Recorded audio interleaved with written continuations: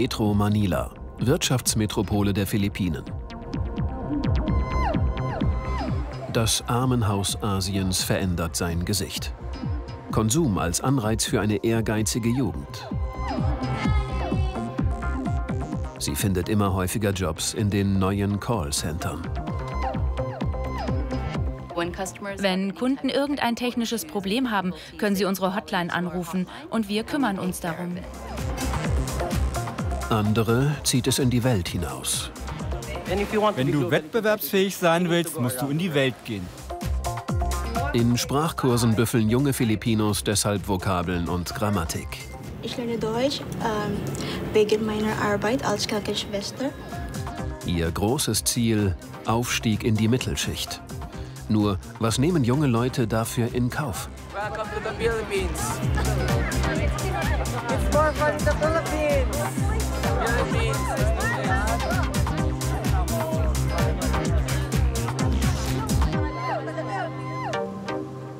Start zum Rundflug über Metro Manila, ein Ballungsraum aus 17 Großstädten.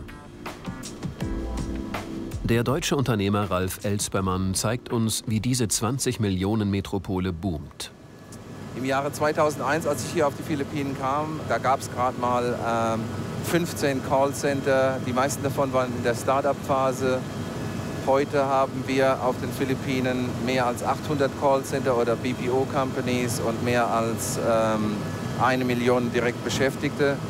75 Prozent aller Jobs in der BPO-Industrie sind hier in Metro Manila und 25 Prozent außerhalb von Metro Manila.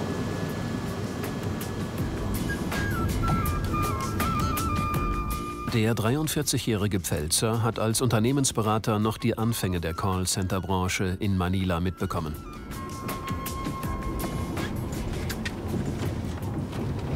Good morning, ladies, or good afternoon. Good afternoon, Ralph.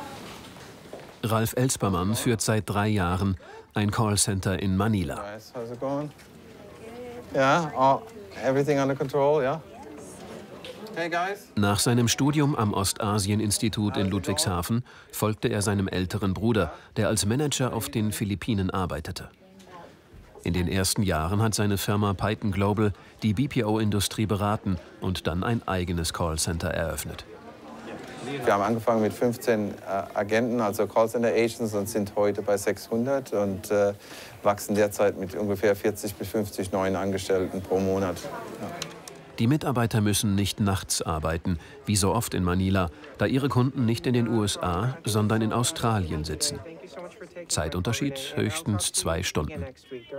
In dieser Facility äh, betreuen wir E-Learning Organizations, das heißt also Unternehmen, äh, australische Volkshochschulen und wir helfen eben den Volkshochschulen, die Studenten, dass sie ihr, ihre Kurse abschließen. Wir, wir, motivieren sie und wir beraten sie und wir helfen denen durch die äh, Kurse durch, ja, damit die E-Learning Organizations, also die Fernuniversitäten in Australien, ihr Geld bekommen. Ne?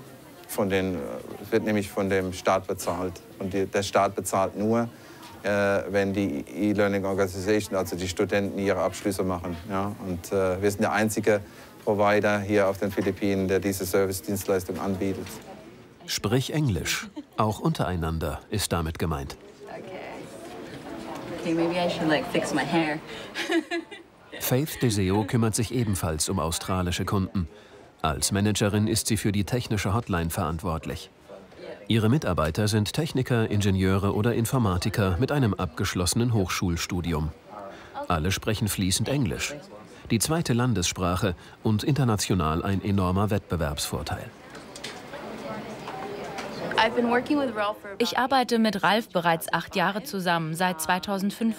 Ich hatte seine Firma verlassen und kam zurück, als er mir eine Position als Manager anbot. Ralf und ich kennen uns schon sehr lang. Er ist ein großartiger Chef. Tatsächlich ist er der beste Chef, den ich je hatte. Das gute Betriebsklima färbt auch auf die Kunden in Australien ab. Die rufen an, wenn sie mit ihrem Navigationsgerät fürs Auto oder Fahrrad oder mit ihrer Fitnessuhr nicht klarkommen. Die 30-jährige Managerin kommt aus Metro Manila. Ihr Vater berät Lokalpolitiker in der philippinischen Metropole. Als Manager bin ich dafür verantwortlich, dass die Mitarbeiter entsprechend ihren Fähigkeiten die besten Ergebnisse erzielen. Und ich kümmere mich darum, wenn sie Probleme und Fragen haben. Also alles, was die Leistungen der Mitarbeiter betrifft, liegt in meiner Verantwortung. In den neuen modernen Callcentern sind auf den Philippinen mehr als eine Million gut bezahlter Jobs entstanden. So können sich junge Berufstätige heute einen konsumfreudigen Lebensstil leisten.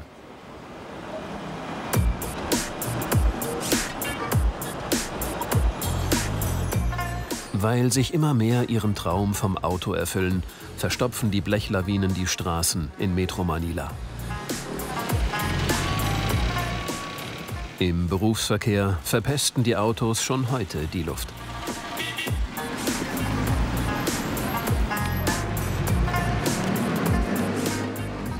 Eines der größten Immobilienunternehmen auf den Philippinen, Mega World, will den Moloch Manila in Zukunft von Staus und Abgasen teilweise befreien. Mega World Manager Jericho Go eilt zum verabredeten Interview, um uns kurz vor seinem Abflug nach London zu einem Investorentreffen noch schnell die entsprechenden Pläne von Mega World zu erläutern. Die Idee ist, das Stadtteilkonzept ins Land rauszutragen.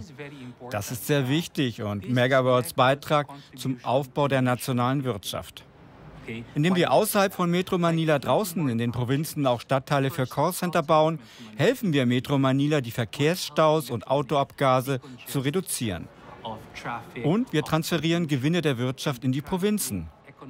Auf diese Weise brauchen unsere jungen Leute nicht von ihren Lieben getrennt werden. Wenn sie in den Provinzen bleiben, können sie dort ihr Geld verdienen und zusammen sein mit ihren Familien. Die Familie hat in dem streng katholischen Inselstaat einen sehr hohen Stellenwert. Das gilt auch für Doris Magsaysay Ho, Eigentümerin und Konzernchefin von Magsaysay. Können Sie rausgehen und fragen, wie kann ich Ihnen helfen? Die Unternehmenslenkerin ist sich nicht zu schade, junge Mitarbeiter anzuleiten. Ihr Konzern bildet vor allem Seefahrer aus und vermittelt sie an internationale Räder. Hier im Trainingszentrum für die Kreuzfahrtbranche bewerben sich viele um Ausbildungsplätze. Ich denke, Filipinos fühlen sich von Natur aus dem Meer verbunden, weil wir 8000 Inseln haben. Eine andere Sache ist, dass die Seefahrt attraktiver wird, weil die Leute nur noch höchstens zehn Monate zur See fahren und für zwei Monate nach Hause kommen, dann wieder maximal zehn Monate auf See sind und zwei Monate Heimaturlaub haben. So können Seefahrer eine engere Beziehung zu ihrer Familie aufbauen. Und wir versuchen zu helfen, indem wir Strukturen schaffen für eine Finanzplanung. Wenn Sie dann irgendwann Ihre Seefahrerkarriere beenden, haben Sie Ihr eigenes Haus, Ihre Kinder haben eine gute Ausbildung und Sie haben Geld für ein Geschäft. Auch AIDA Deutschland ist ein Kunde von Max Seisei. Für das neueste Luxusschiff, die AIDA Prima, wurden einige hundert junge Leute hier in Manila geschult. Das Bettenmachen darf nur fünf Minuten dauern. Jedes dritte Crewmitglied auf Kreuzfahrtschiffen kommt von den Philippinen.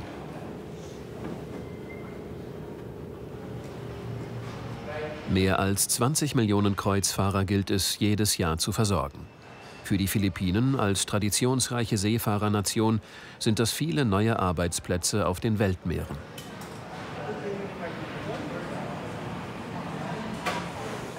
Dritter Tag im Ausbildungsgang für Köche.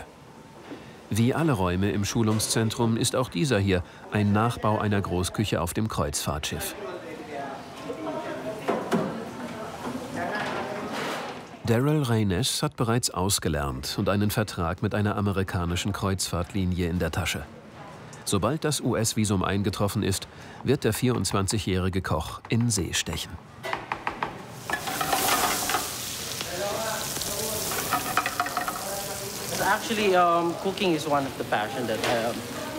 Tatsächlich ist Kochen eine meiner Leidenschaften. Meine Mutter hat es mir gezeigt.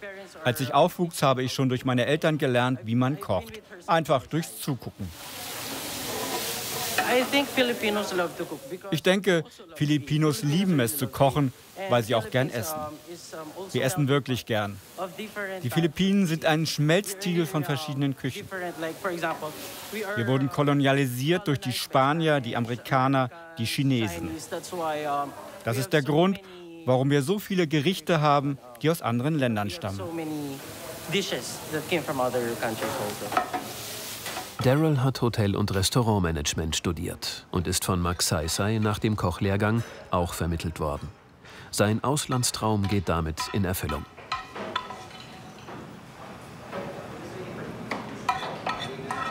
Junge Filipinos stecken oft viel Geld in ihre Ausbildung. 1000 Dollar im Monat oder sogar mehr können Köche auf einem Kreuzfahrtschiff mal verdienen. Auf den Philippinen ein Spitzenverdienst.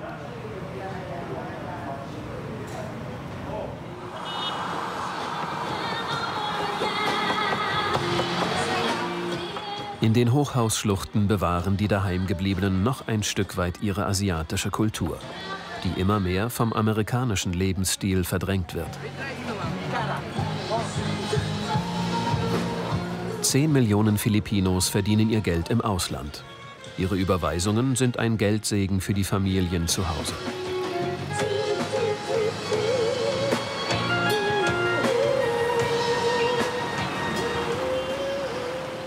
Für den Staat und die Wirtschaft sind diese Milliardengeschenke aus allen Winkeln der Erde schon seit Jahrzehnten die wichtigste Devisenquelle.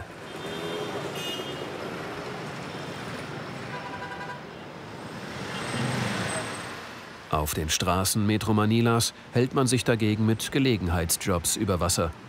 Der Verdienst bleibt dabei äußerst spärlich. Jeder Dritte auf den Philippinen ist arbeitslos. Ohne echten Sozialstaat gehen Arbeitslosigkeit und Armut Hand in Hand. Wege aus der Arbeitslosigkeit führen für die Filipinos oft ins Ausland.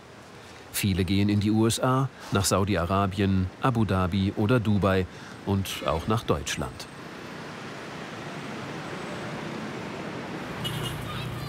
Der deutsche Unternehmer Ralf Elspermann hat den umgekehrten Weg gewählt und arbeitet auf den Philippinen.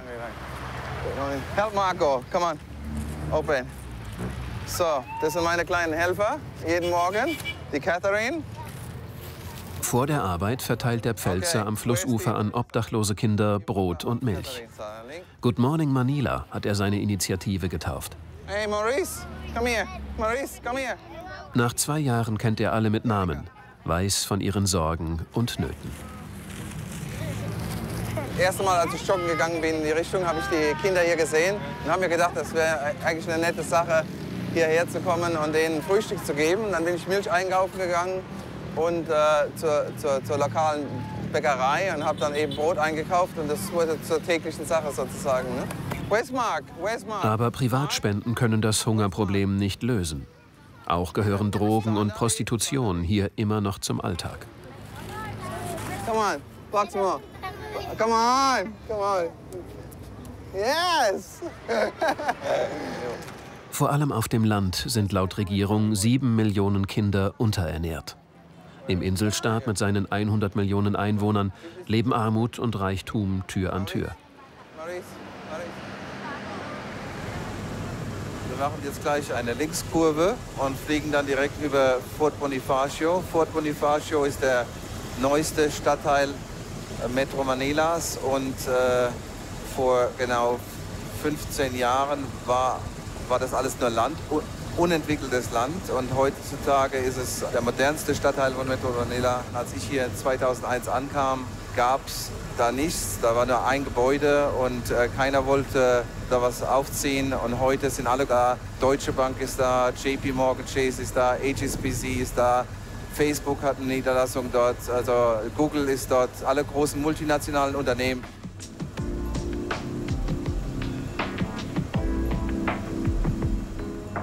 Hier wird in den Callcentern rund um die Uhr gearbeitet. Irgendwo ist immer Tag auf dieser Welt. Mehr Baukräne hier als irgendwo anders auf den Philippinen. Also das ist das, das schnellst wachsende Stadtzentrum der Philippinen, äh, von Metro Manila auch. Also hier sehen Sie jetzt die Deutsche Bank. auch nur Baukräne. Ne? Also Wahnsinn. Alles BPO. Alles BPO-Gebäude, also alles für Callcenter. Ja, wenn man das mal mit Indien vergleicht, ich war des Öfteren schon mal in, in Indien, das, das kann Indien so nicht bieten. Ja, in Indien ist es mehr so, man geht ins Hotel, man arbeitet dann im Büro und geht dann zurück ins Hotel. Ja, da da, da gibt es so eine Infrastruktur einfach nicht. Ja. Und es ist halt alles sehr, sehr amerikanisiert. Das heißt also, man fühlt sich nicht unbedingt äh, dass man in einem asiatischen Land ist. Man fühlt sich mehr so wie, also diese Region hier hat, äh, diese, dieser Platz hat mehr so ein Silicon Valley Feeling, ja, und, und, und das ist natürlich, äh, was es so attraktiv macht. Der Stadtteil vor Bonifacio ist ein teures Pflaster geworden. Für seine Bewohner haben sich die Mieten und Immobilienpreise bereits verdoppelt. Hunde gelten als Statussymbol. Wer zu Geld gekommen ist, beschäftigt gleich noch einen Hundesitter neben den anderen Hausangestellten.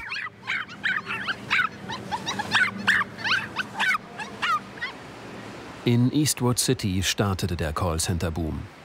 Hier wird wegen der Zeitverschiebung vor allem nachts gearbeitet, denn die meisten Kunden sind US-Firmen.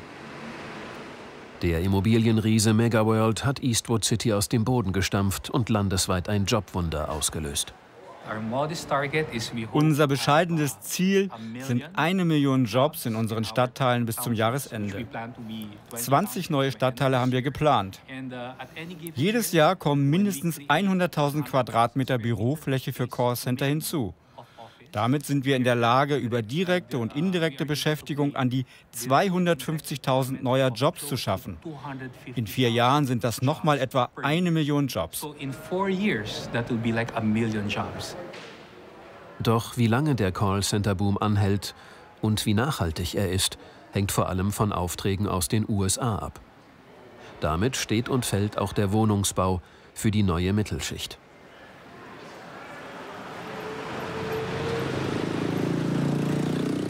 Den Slumbewohnern hilft das in keinem Fall.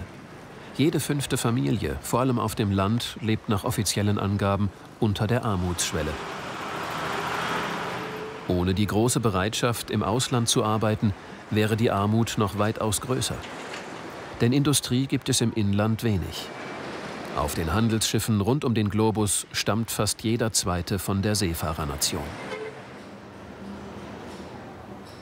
Die Chefin des Schiffskonzerns Magsaysay, Doris Magsaysay Ho, ist mit ihren Eltern ebenfalls um die Welt gezogen. Heute bildet sie Fachkräfte für die globale Wirtschaft aus. Kapitäne, Schiffsingenieure oder Kreuzfahrtpersonal. Aber Magsaysay vermittelt auch Krankenschwestern in die USA oder nach Europa. Ich bin meinen Eltern wirklich dankbar für diese wunderbare Möglichkeit, eine globale Person zu sein. Das gibt mir einen ganz anderen Blick auf die Chancen junger Leute im Ausland zu arbeiten.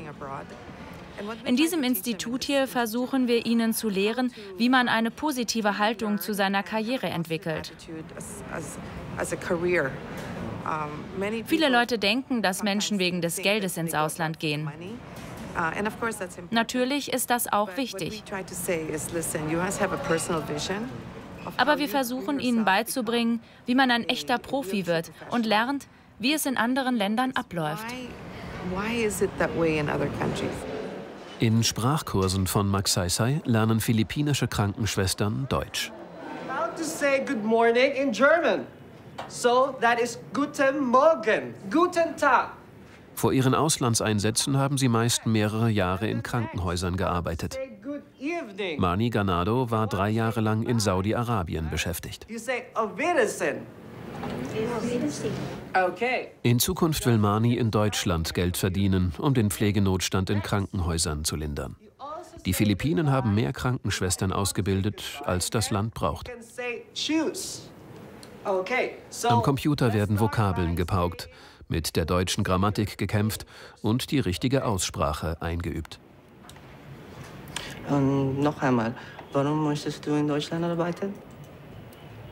Uh, wegen meiner Arbeit als Krankenschwester. Haben Sie Familie in Deutschland? Nein. Die 30-Jährige sitzt bereits auf gepackten Koffern, denn sie hat eine Zusage aus Leipzig. Als Deutschland im Jahr 2013 äh, seine Pforten geöffnet hat, war ich wirklich aufgeregt. Ich habe mich gefühlt, dass es eine einmalige Chance im Leben ist. Ich mag die Herausforderung, in einem äh, fremden Land zu leben und eine äh, neue Kultur kennenzulernen. Aus diesem Grund habe ich Sprachunterricht in äh, Deutsch genommen, da dies eine Voraussetzung ist, damit meine Qualifikation als Krankenschwester in Deutschland anerkannt wird. Marnie ist Single und hat anders als viele ihrer Kolleginnen keine Kinder. Es gibt immer Berufe wie der einer Krankenschwester oder andere Berufe im Gesundheitsbereich, wo man die menschliche Note braucht, wo man sich um jemanden kümmern und ihn gern haben muss. Auf den Philippinen haben wir so viele Menschen, die solche Herausforderungen mögen. Filipinos sind von Natur aus sehr fürsorglich und liebevoll. Mir gefällt die Tatsache, dass die deutsche Regierung darüber nachdenkt, wie sie philippinische Krankenschwestern in Deutschland beschäftigen können. Sie gehen ins Ausland, arbeiten dort, kommen wieder nach Hause. Je mehr das passiert, desto besser geht es den Familien. In Metro Manila wird rund um die Uhr gearbeitet. Nicht nur in den Callcentern, auch auf den unzähligen Baustellen wird keine Zeit verschenkt.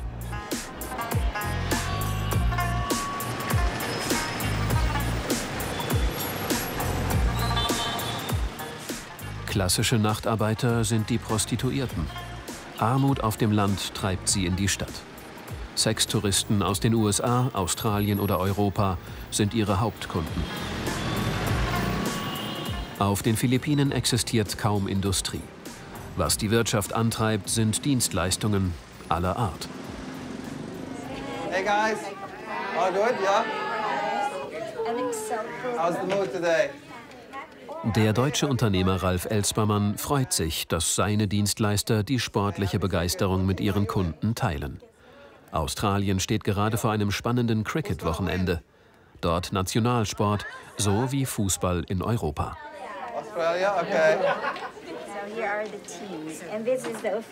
Zur Betreuung der Studierenden der australischen Fernuniversitäten gehört es selbstverständlich, zu ihren Cricket-Teams zu halten.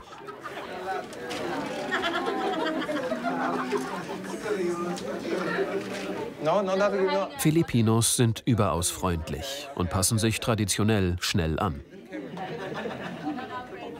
Redet ihr auch über Cricket? Nein, wir haben unseren Teamtag jeden Freitag. Ja, dieses Wochenende dreht sich in Australien alles um Cricket. Deshalb fiebern wir alle mit. Nächste Woche, denke ich, ist dann wieder ein normaler Teamtag. Die Tätigkeit im Callcenter ist begehrt. Auf einen Arbeitsplatz kommen hier 15 Bewerber. Äh, die äh, Mitarbeiter hier verdienen top of the line, das heißt also, sie verdienen äh, ungefähr zwischen 700 und 800 Dollar im Monat, was äh, der Höchstsatz ist auf den Philippinen. Und äh, ja, die meisten hier arbeiten eben tagsüber, das heißt also, sie müssen keine Nachtschicht machen und äh, ja, sind sehr, sehr happy hier. Callcenter-Managerin Faith Deseo hat eine halbe Stunde Mittagspause. Länger darf sie ihren Arbeitsplatz für den Auftraggeber in Australien, einem großen Hersteller von Navigationsgeräten, nicht verlassen. Faith ist in Metro Manila aufgewachsen, zusammen mit sieben Schwestern und Brüdern. Zwei ihrer jüngeren Geschwister studieren noch. Sie selbst war nicht an der Uni, sondern hat eine Ausbildung zur Dekorateurin gemacht. Im Café nebenan lockt die Kuchentheke. Ich liebe Schokoladenkuchen. So wie viele ihrer Kollegen hat Faith über Jahre hinweg jeden Tag zwei Stunden für ihren Weg zur Arbeit gebraucht. Inzwischen kann sie sich ein Apartment in der Nähe ihres Arbeitsplatzes leisten. Ich kann alles tun, was ich liebe. Ich habe eine Arbeit, die mir wirklich gefällt und Kollegen, mit denen ich gerne zusammenarbeite. Neben der Arbeit finde ich einen guten Ausgleich. Ich gebe Tanzunterricht und gehe in ein Tanzstudio. Das ist großartig.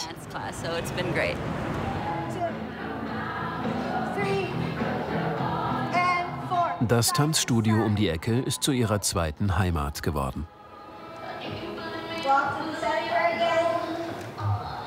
Hier verbringt Faith fast jede freie Minute.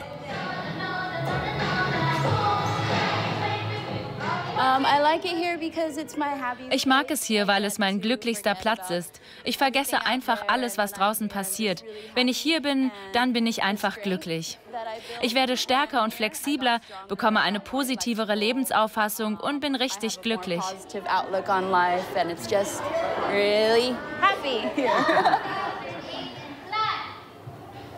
Die ehrgeizige Faith hat erst vor zwei Jahren mit dem Pole Dance begonnen.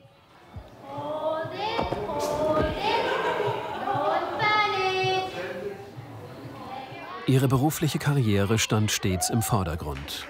Und wie sieht es bei der 30-Jährigen mit Kindern aus? Das kommt drauf an. Manche Frauen möchten eine Familie gründen und das ist okay. Andere Frauen finden, dass die Zeit dafür noch nicht reif ist. Ich persönlich bin glücklich mit dem, was ich gerade tue. Ich bin glücklich mit meinem Job und mit meinem Tanzen. Mag sein, dass ich zur richtigen Zeit auch eine Familie haben werde that's when I'll decide to have a family.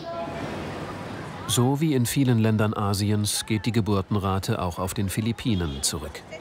Früher waren in dem streng katholischen Land Familien mit sieben oder acht Kindern keine Seltenheit. Heute sind in Metro Manila zwei bis vier Kinder schon fast die Regel. Noch ein Rezept gegen die Armut. Auch beim Einkauf haben sich die Filipinos amerikanisiert. An Wochenenden strömen sie in die Shopping-Malls, die zu den größten Asiens zählen. Malling heißt das liebste Freizeitvergnügen. Die Philippinen sind auf dem besten Weg in eine Konsumgesellschaft. Großes Vorbild sind einmal mehr die USA, wie auch im Showbereich. Der Konsum hat durch den Callcenter-Boom einen kräftigen Schub bekommen. Dank Millionen neuer Arbeitsplätze wächst eine kauffreudige Mittelschicht heran. Uh, Wir sehen steigende Löhne, einen verbesserten Lebensstil und einen höheren Lebensstandard auf den Philippinen. Das könnte viele Filipinos, die heute im Ausland arbeiten, was mehr als 10 Prozent der Bevölkerung sind, dazu bewegen, heimzukehren. Durch all die neuen Stadtteile hoffen wir, dass die sehr talentierten Filipinos wie Ingenieure, Architekten, Künstler, Ärzte, Krankenschwestern oder Techniker in der Lage sein werden, zurückzukommen.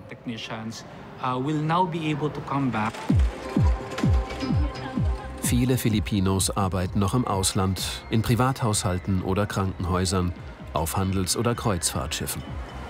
Immer mehr aber auch in heimischen Callcentern. Der Preis? Eine starke Abhängigkeit von ausländischen Auftraggebern und fern der Heimat sein.